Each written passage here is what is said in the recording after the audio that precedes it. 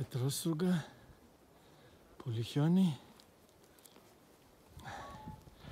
Το πόδι μέχρι μέσα βυθιζότανε.